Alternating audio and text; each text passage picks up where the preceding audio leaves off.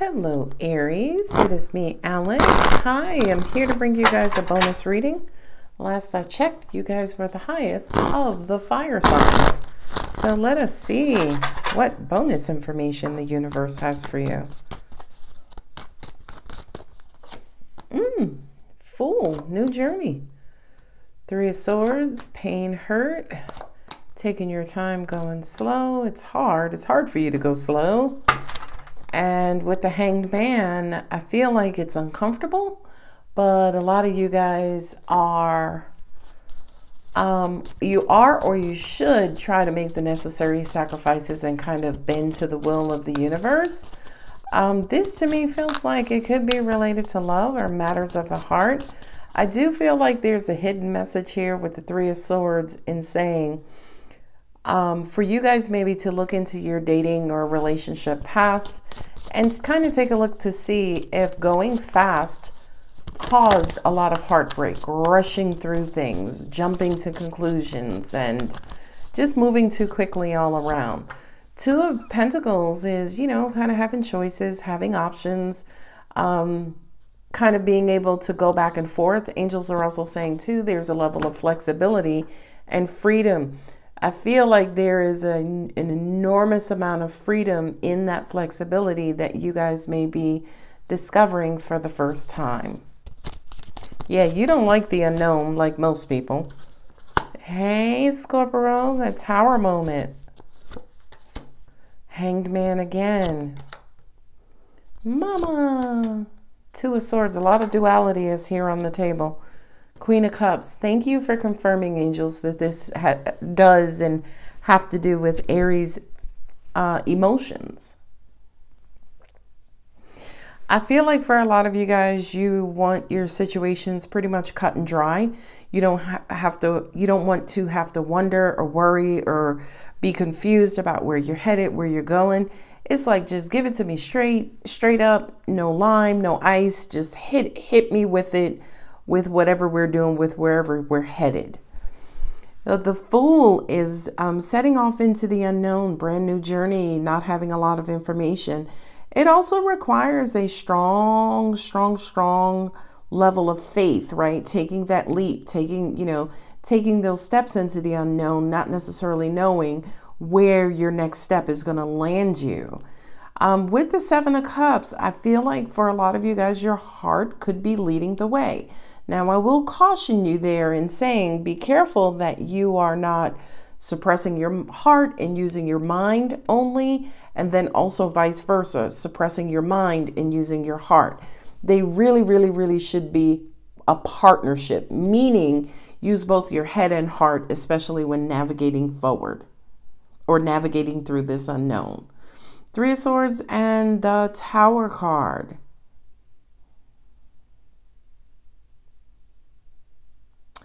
This feels like being freed from past heartbreak or pain. Um, angels are saying, you know, when you play Monopoly and you wind up in jail, it's like go to jail, go straight to jail. Don't collect two hundred dollars. Don't even say bye to your family. Just get get the hell on, right? Um, but then you plug chance or community chest and you get that get out of jail free card. What it is that I'm describing is like you guys being freed and getting that get out of jail card, get out of the jail of your heart, heartache, heartbreak, pain, or despair of the past. So another way I could say this, Aries, in many, um, many words less, is I feel like for a lot of you guys, you're getting a new shot at love. You're getting a new opportunity in love. The universe has helped you clear away the residue of past, past pain, past hurt you're getting a new, not only leash on life, but leash on love specifically. Now, with the Knight of Pentacles, you know what you want. So maybe this time around, take your time, right? Stop to smell the roses. Don't be in such a rush. Get to know your person. Get to know their ins and out, their qualms, um, their qualms, their, you know, their beauty, their bliss. And with the hanged man, it's almost like the universe is wanting you to just suspend maybe your expectations, maybe what you think you know about life, what you think not about life, what you think you know about relationships, what you think you know about your person. Let them be the teacher of themselves, right? We have a tendency as humans, and this is, I think, a, a standard human trait, where we have this thing called perception, right? So I feel like there's a strong message here, definitely, with the hanged man and saying, you know, learn them in the 3D. Stay out of what you think you know about them or what you who you think they are, what you think, what you're sending through your conscious mind, your energy, your thoughts, aka your perceptions. Nine of Wands and Mama, the Empress. It's going to be a hard road because I feel like for a lot of you guys, this is almost like abandoning, leaving behind, or suspending your whole way of dating. And that is not going to feel uncomfortable to anybody, right? And that's what I feel is represented here by the Nine of Wands. It's going to be a struggle, right? Um, anytime you learn anything new, there's going to be a humongous learning curve until you kind of start to get familiar and you start to master whatever it is that you're learning. The Empress card here kind of says that keep going because there is a light at the end of the tunnel. There is abundance, there is prosperity, there is creation, there is a resolution and solution to whatever it is that you are fighting for. So, in other words, your sacrifices will not be in vain. We have the hanged man here again with the two of swords. I feel like this could be your energy of resistance, your energy of maybe even procrastination, in that it's taken you a long time to take this leap, to take this journey, to have faith. Because, especially you being a fire sign, it's almost like you are used to just getting to things and ideas and solutions relatively quick. Now the universe is calling upon you to slow down. And you're like, wait, what? Like, I, I can't even fathom, I can't even understand how this is going to work out. But I feel like again that two of two of pentacles, you have an option. You could do it the old way, you could do it the, do it the new way. But in the end, the ultimate goal is love. The ultimate goal is emotional connection. The ultimate goal is satisfaction and joy. So realistically, Aries, it's up to you on, on the path and the method that you want to use. You could use your old comfortable way and wind up with your old same same old results, or you can kind of give the universe's um, method a try this time around, and you may wind up um, falling in love or wind up with an open heart. So you are ready and vibrating um, at that love frequency so you can attract new love. Okay, look, mm. Six of Wands, you're going to be successful. Ah, angels are saying taking that leap of faith, you're going to be successful. I would just say again with that Seven of Cups, you know, Seven of Cups represents kind of rose-colored glasses, cloud nine, being in your heart, being in your feelings, where you know, kind of being confused and or blinded by love. And again, uh, Aries, especially with you being a fire sign, I would just say balance, balance, balance. And angels just also said too, that's what's also represented there with the hanged man. And that for a lot of you guys, I mean, almost literally, I feel like you don't feel like yourselves in whatever this situation is. And, and angels are saying, yeah, again, because you're not comfortable, because you're not using old patterns and behaviors and habits. Nine of Cups, okay, you're going to be successful in love. I feel like, yeah, if you can follow or muster up the courage to follow angelic advice, you're going to be wildly successful in love. Two of Wands, yeah, that again. Remember, two, two, two here. You got a lot of twos, which represents choice, options. Which door are you going to pick? Door number one or door number two? It's up to you. King of Wands. Uh-oh, those are your cousins, Libra. Excuse me, Leo.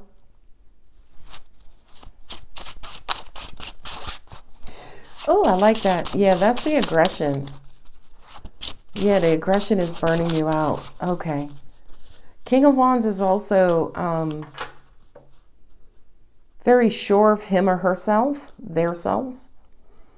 Um, very powerful, very passionate, very lusty. Um, but I feel like the King of Wands and the Queen of Cups, there's that fire and water. not the greatest combination, right? It's not. I'm sorry, it's not. Um, because again, if they don't manage it well, she's going to water him down, he's going to burn her out, right? So to me, those are like 100% complete opposites. There is the strength card. I love these cards because they shine and glisten. They're my um, golden foil tarot deck, and I got them off of Amazon. Okay, adjusting my camera so you can see that. And what do we have? Four Swords, there's a procrastinate. Yeah, there's you kind of stopping because you may not be seeing results. You may not, you may feel like you're not getting what you want. You're not necessarily making any progress because things are going so slow. So to an extent, it's almost like Four Swords is you basically like just taking a time out, taking a chill pill. Like, you know what? Let me pull over at this rest stop because I've been stuck in this traffic for too long, right? Literally, especially when it comes to your love life, could be related to other areas of your life, but I feel like this is specific to love Aries. You're used to going a lot faster than you are. This time around, whatever this relationship is, the universe is charging you to go slower because I do feel like your ultimate goal, being in love, having a beautifully balanced, blissful relationship, um, I feel like that goal or wanting that goal, the universe is now saying to you, here's how you get there, right? Here's how you get there. Here's what you need to do. Um, I feel like this is Aries with some sort of Leo in your chart, where it's Leo rising or Leo in your moon position. I feel like some of you guys could also be dealing with the Leo, Leo, Cancer, Cusper. Um, or, oh, that's what it is, because you got double Leo here.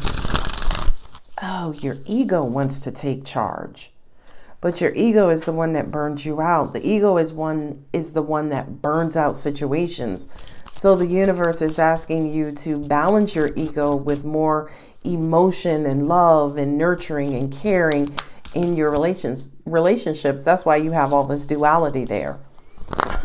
This is a dumbass example but the universe is like stop eating with so much salt. Add a little pepper to your uh, food, right? So, in other words, introduce the other side of uh, the equation or other options to help really, really, really bring you a full experience. These are my Universe Has Your Back Oracle cards. I am a spirit having a human experience and I'm here to get closer to love.